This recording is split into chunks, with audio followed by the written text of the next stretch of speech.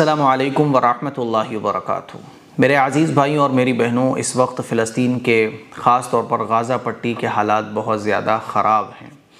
आज सुबह अखबार में एक रिपोर्ट थी जिसमें लिखा हुआ था कि अब तक हज़ारों लोग दोनों तरफ़ से मारे जा चुके हैं, जिसमें बड़ी तादाद औरतें, बच्चे और आम लोगों की है, जिनका जंग से दूर दूर तक कोई ताल्लुक़ नहीं है।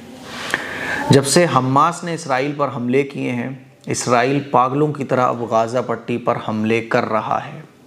उसको इससे मतलब नहीं है कि इस बिल्डिंग में बच्चे हैं, औरतें हैं, बूढ़े हैं, जवान हैं। कौन है? इससे उसको मतलब नहीं है।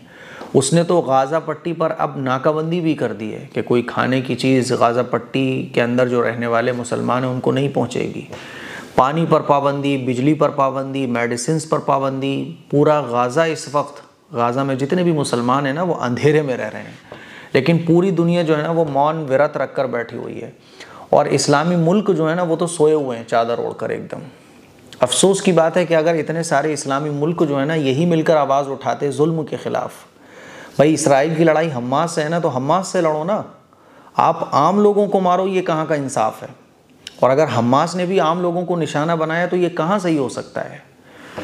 जब भी जंगें होती हैं तो आम इंसान का नुकसान होता है। ताकत वाले, मज़बूत लोग, वो तो बचे रह जाते हैं और उनको खाना पीना भी टाइम से मिल रहा होता है। आम लोगों का नुकसान होता है। लेकिन अफसोस की बात है कि पूरी दुनिया में फ़लस्तीन के लिए आवाज़ आम लोग ही उठा रहे हैं। फ़लस्तीन जो लड़ रहे हैं ना, वो अपने हक़ के लिए लड़ रहे हैं। और उनके साथ अल्लाह है। उनके साथ उनकी ईमानी ताकत है, वो अब तक लड़ रहे हैं। उनके साथ ईमानी जज्बा है और आम लोगों की दुआएँ उनके साथ हैं। ये जितने भी बड़े बड़े लीडर्स पूरी दुनिया में जो अपने आप को बोलते हैं ना कि हम मज़लूमों का साथ देने वाले, हम इस्लामी मुल्क, हम फुला मुल्क। एक एक ख़बर में देख रहा था कि कुछ इस्लामी मुल्कों ने जो है ना वो खाने पीने का सामान भेजा है वहाँ। वहाँ फ़लस्तीन में, गाज़ा में। किस लिए? कि लो साहब, भूख लग रही होगी तो खाना खा लेना। फ़लस्तीनियों को खाने की ज़रूरत नहीं है, वो फाक़े पर भी। ईमानी ताकत उनके अंदर रहती है। उनको ज़रूरत है तो इस बात की ज़रूरत है कि उनकी आवाज़ में आवाज़ मिलाकर कहा जाए कि इसराइल ने जो कब्ज़ा किया है, फ़लस्तीनियों की ज़मीन पर वो नजायज़ कब्ज़ा है। और यही हमारे मुल्क का स्टैंड भी है।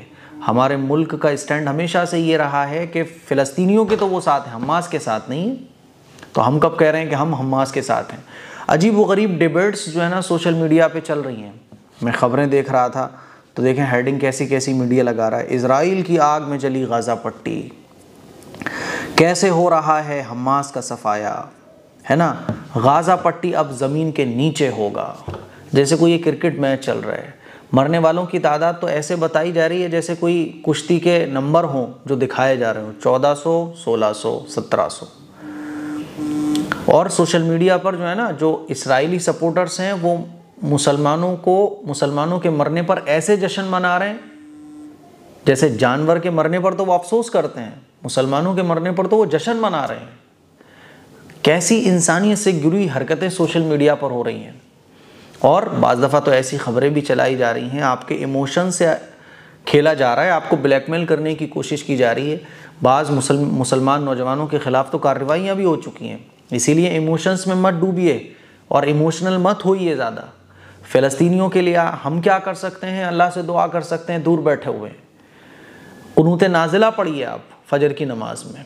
अल्लाह से रो रो कर दुआएँ कीजिए, क्योंकि अल्लाह ही है जो मज़लूमों का सहारा बनता है और इन अल्लाह ही सहारा बनेगा। तो ये कुछ ख़बरें थी गाज़ा पट्टी की और फ़लस्तीन की। पूरी दुनिया ने मौन व्रत रखा हुआ है। कोई ये नहीं कह रहा है इसराइल से कि तुम ये जो अंधाधुन फायरिंग कर रहे हो, फ़लस्तीनियों पर, बिल्डिंगों पर, आम लोगों की रिहाइशों पर, ये कहाँ की इंसानियत है? हॉस्पिटल की तुमने बिजली काट दी है। हमास से लड़ाई है तो हमास से लड़ो ना। तो मेरे अज़ीज़ भाइयों, मेरी बहनों, हम और आप अल्लाह से दुआ कर सकते हैं। बाकी सोशल मीडिया पे जो भी प्रोपेगंडा चलाया जा रहा है, बिल्कुल भी उसमें मत आइए। बहुत सारी आपको इमोशनल करने के लिए ख़बरें दिखाई जा रही हैं। बिल्कुल इमोशनल होकर कुछ गलत सलत मत कीजिए, ठीक है? जो जुल्म है, वो जुल्म है। चाहे हमास करे, चाहे इसराइल करे आम लोगों को मारा जाए, ये कहीं भी इस्लाम में जायज़ नहीं है। रसूलुल्लाह सल्लल्लाहु अलैहि वसल्लम ने इरशाद फरमाया कि जंग में भी उनसे जंग की जाए जो जंग तुमसे कर रहे हैं। आम लोगों को मारना, आम लोगों को नुकसान पहुंचाना, ये शरीयत के एतबार से भी गलत है।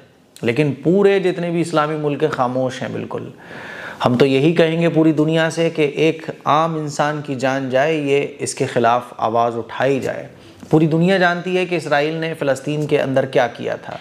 हम और आप अल्लाह से दुआ करें उन तनाजिला पढ़ें रो रो कर अल्लाह से दुआ करें कि अल्लाह ताला मज़लूमों की हिफाजत फरमा, मज़लूमों की मदद फरमा और ालिम को नस्त नाबूद फरमा। अल्लाम वरहमल वर्का